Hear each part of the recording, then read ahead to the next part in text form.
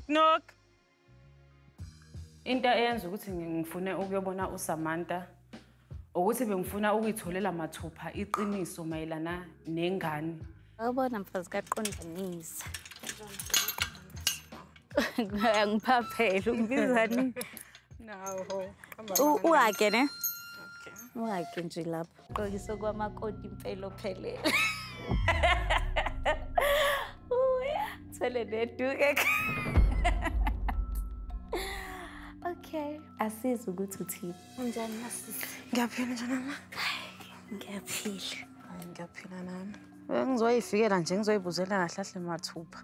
Yini le? Hayi besikhuluma noqondanisa noma Mchunu. Mm. Eh mayelana nodaba ke lengane. Aw, seniba ne-family meeting. Aw kuhle lokho. Uzoyena wena. Ngizingane angazi kunjani njani ngathi akusiyo yaqondaniswa wenza ama DNA test izinto ezikanjalo. Bengizo-understanda if kufika umamchunu. But kufika wena. Fika mina impela ngithi phela nami ngiyingxenye yenu so that's why ngifikile ukuthi ngikwazi nami Hayi mina ukuzwezwela. ungangifake angisekho lapho mina sis. I don't have a problem with abantu bakaqondanisa. It's him that I have a problem with. So yena uma sezophapha eza kumina ezongibuza imibuzo ngengane yami. Hayi sekuyangijabhisa lokho ngoba bengingakwazi ukuthi hayi awusekho ngazi nje ukuthi ukhona nje impela angicabanga ukuthi mhlawumbe khona lapho ongathi uyakhona No. No. Uyazi umuntu wakho bekumele akutshele yena ukuthi eh eh. Oh akazi ukuthi uze la.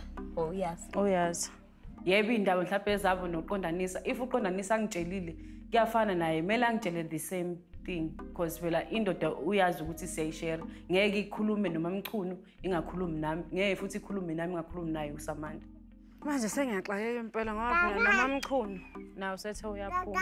Nawe futhi usuyaphuma. yebo uthi nawe useyamnyeka uqondanisa angisazi ukuthi kwenzakalani angisazi impela